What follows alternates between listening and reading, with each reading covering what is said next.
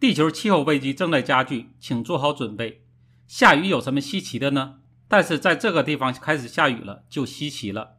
八月份在北极圈附近的格陵兰岛上下了一场大雨，降水量高达七十亿立方米，大约是五百个西湖的水量。这是有记录以来的气象史上从来没有出现过的现象。这次降雨可谓是震惊了气候界的研究人士。这次暴雨导致格陵兰岛上的冰川日融化速度相当于往年平均水平的七倍，大约可以融化五百六十亿立方米的水量，这相当于我国黄河的平均年净流量了。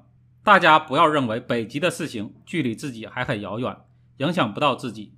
如果有这样想法的人，你就大错特错了，因为这一气候现象预示着它将影响到世界上的每一个人。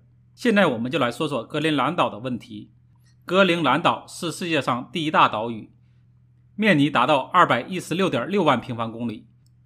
一直以来，这片岛屿上都覆盖着厚厚的冰层，冰盖面积高达一百八十万平方公里以上，是仅次于南极洲的全球第二大冰川。如果它上面的冰川全部融化，那么全球的海平面将会被抬升六米。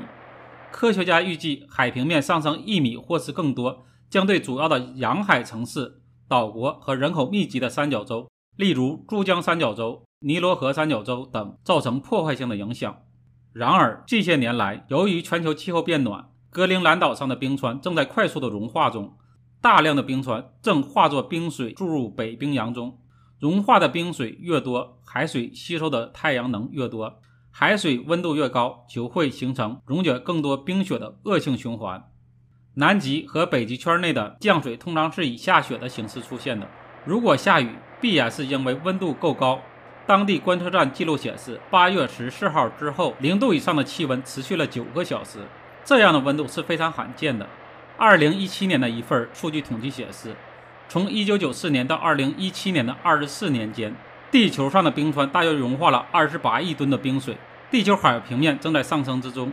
二零一九年十二月，《自然》杂志发表的研究报告指出，现在格陵兰岛冰川融化速度是一九九二年的七倍。过去二十年，全球海平面上升的百分之二十五是源自于这里。科学家们几乎可以肯定，自一九七零年以来，全球海洋一直在持续升温。在过去的几十年中，海水吸收了人类活动产生的多余热量的百分之九十以上。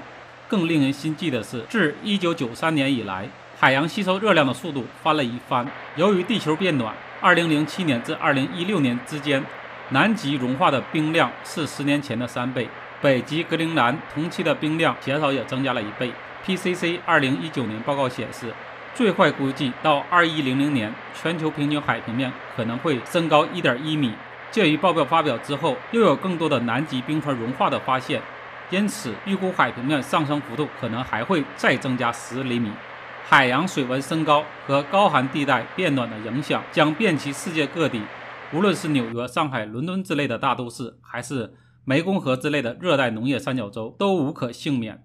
海水温度升高会导致热带气旋、海洋飓风等重大自然灾害的频繁发生，破坏力更大。现在百年一遇的极端气候频发，已经开始出现千年一遇的极端气候现象。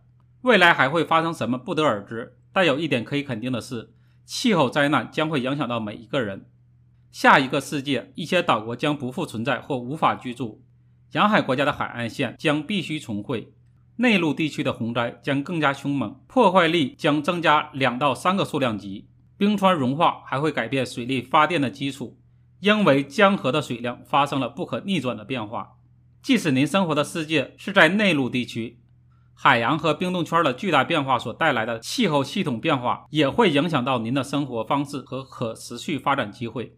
地球上大量的碳储存在世界上永久性的冰冻地区，例如西伯利亚和加拿大的北部。如果碳排放继续增加，大约百分之七十的近地表永久冻土将被融化。到二一零零年，可能出现数百亿吨的二氧化碳和甲烷随着冻土融化而释放到大气中。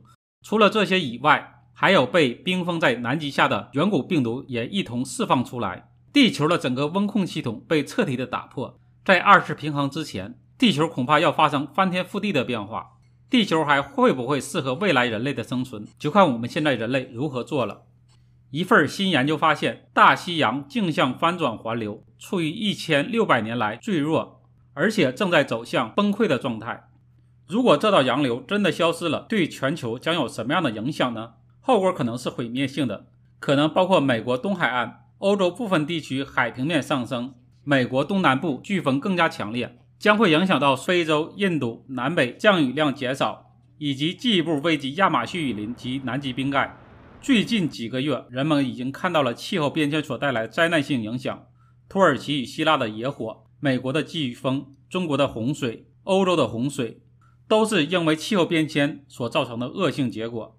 保护环境，保护地球，刻不容缓，这是全人类共同的责任。如何应对气候危机、气候灾难，恐怕要成为今后很长一段时间的世界性的话题。